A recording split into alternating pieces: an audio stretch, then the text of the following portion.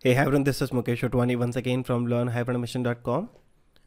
Today in this lecture we will discuss how to handle iframes in Playwright. So let me show you one application. What do I mean by iframe and why do you need to handle iframes? So as you can see this is one of the you know Java documentation and you can see the multiple sections of this page. So I will show you the DOM structure and you will notice this particular section is coming in one frame. This particular DOM structure is coming in another frame. And this side, which you can see the main part, this is also is another iframe. It means in order to work with different sections, you have to work on the iframe first, then only you can perform operation. In this example, I will show you with this, but the same concept will be applicable. If you are working with any other application, the concept will remain same okay? So let me show you. Let's say I want to click on this java.applet let me inspect this particular option. Okay? Now if you see this is a hyperlink. And if I just scroll it down and now if you notice this particular section this is coming in a frame. This frame have a dedicated source. This frame also have a name. And this frame have a title also. It means if I have to interact with this particular section, first I need to switch to this frame. Once I will switch to this frame, then I can continue with this section. If you're using selectors hub, then it will show you upfront that this particular element is in iframe.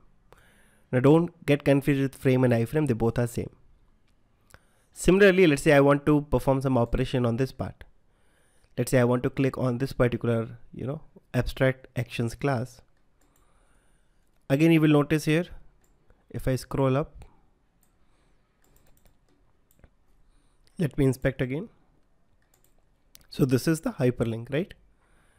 If I scroll up this is a separate HTML and it is wrapped with this particular frame. This frame had dedicated source name title and so on.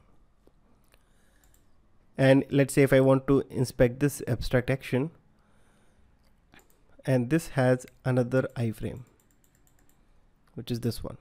So basically this page have three different frames or iframe. In order to work on any of the section first you have to go to that frame then only you can start working on the elements. Now if you don't have iframe no need to uh, go through this but in, in most of the applications you will find frames and iframe. In that case you have to switch and continue. Now technically what is iframe? Let me show you one diagram. So suppose you have one HTML page.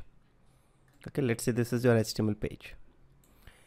If you have any requirement that you want to display or you want to show another application or some part of another application in this page. Basically, in simple words, when you want to embed one application into another application, you can use the concept of frame let's say in this application I want to show one part of the application on this side I want to embed another application here. I want to embed an another application here. So I can use the concept of frame. So this frame can highlight one another application. This particular frame can highlight another application. And this iframe can highlight another application. Okay so frame is nothing but a HTML tag which will allow you to embed another application. This is one application. Let me show you one more. Let's say this is redbus so redbus is one of the site which will allow you to book bus and cabs and other things. So if I click on this login let's say I want to enter some phone number here. If I inspect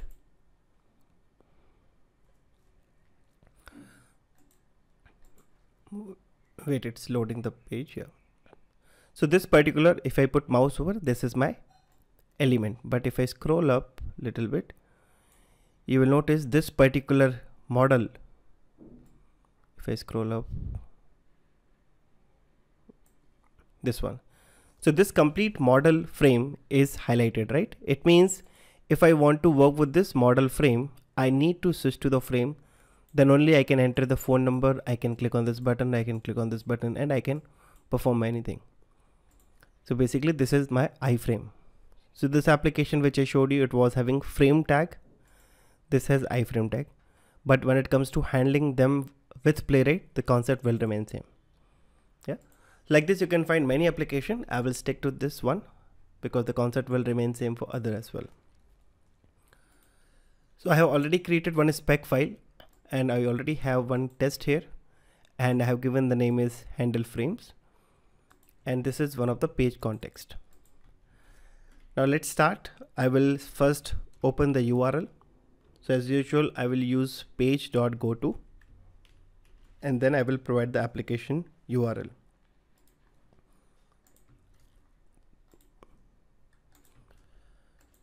Now, once you load this URL, what I want to have, I want to perform, I want to click on, let's say java.applet.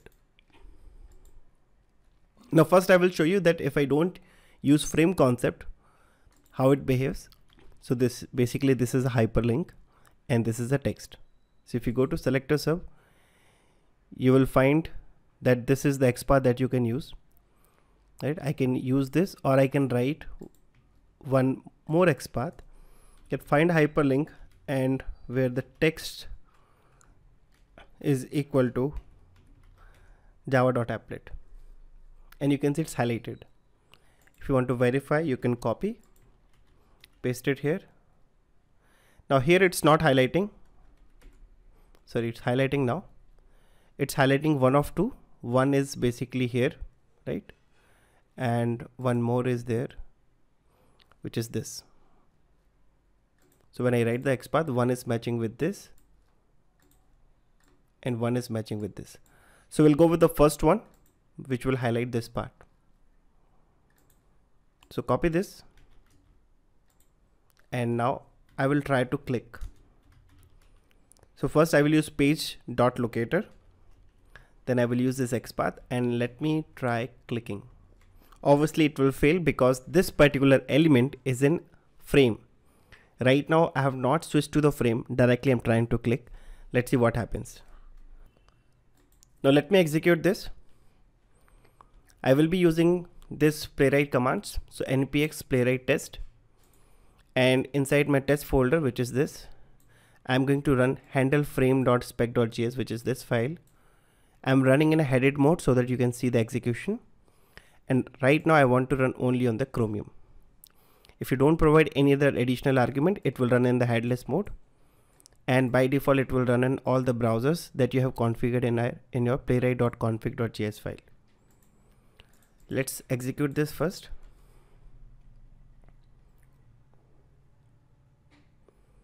So it will start running one test using one worker. And yes it started. Now notice here it's not clicking because the moment it will click it will go inside this package. Why it is not able to click? Because it is trying to find this particular element on the main page but this particular element is coming inside a frame, right? So to wait, Playwright have this awesome feature called automatic waiting. So it's waiting and after waiting a certain interval, you will notice it's failing, right? And if I show you maximum time, it has waited 30 second, which is 30,000 millisecond. Fine. So let me stop this. And if you want to see the report, it will show you report like this that timeout exceeded it waited till 30 second since it was not able to find and it finally failed. We know the reason so let's quickly switch to the frame. Very easy concept. What you have to do first you have to use uh, await then use page and the moment you type frame you will find one method called frame locator which says you provide me the locator which will help me to find frame. Then it will return you that particular frame. Okay so frame locator which will ask you selector and this one return you frame locator. Basically using this frame locator you can click type whatever actions you want to perform you can do that.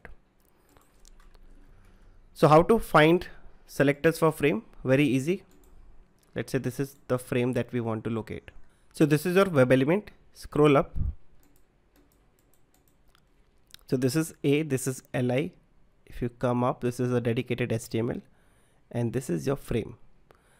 Now since you have SRC, you have a name, you have a title, you can use any of these locators to find your frame. So you can use title, you can use name, you can use SRC. Let me use this name. So I can write a quick XPath here that first of all find a frame which which have name equal to package list frame. So it's highlighting that frame, right? You can copy this, come back here and use that locator here. And see, it says when working with iframes, you can create a frame locator that will enter in the frame. So basically when I say switch, it means you are entering inside that frame and allow selecting element in that frame. So once you get this frame locator, once you're inside the frame, you can perform any activity inside that frame. So let me store that into a separate variable. Let me call this as iframe. Now whatever activity I will do, I will use this iframe. It can be any other variable name. You can write abcxyz as well. I want to keep it meaningful. So I will use this iframe and using this, I will now locate that element, which is our java.applet, and then I will perform click operation. And it will close immediately. So what I will do, I can use uh, await page dot pause so that it will pause the script and I can show you the output. Let me execute again the same spec file in the headed mode with project equal to chromium. So again running. And yes it started. Now notice here it will click on that java.applet and yes you can see it clicked on it. And right now you can see all the interfaces. It's highlighted here. Now since I have added page.pause you will also get this Playwright inspector. Basically because of this now uh, since we added pause we have this inspector and it will be in a pause state until I don't execute. So the moment I resume this it will complete my test and now you can see test passed. We are able to click on this particular element which is inside this frame. Like this you can switch to any other frame. You can go inside that frame and do whatever operations you want to perform inside that frame very easy but very important. So please give a try and let me know if you face any issue. Okay so that's all about this video. In case if you like this video do share with your friends and colleagues. And in case if you're new to this channel then make sure you subscribe this channel so that you will get all the updates related to test automation. Thank you so much guys for watching and i will see you in the next video. Till then bye bye take care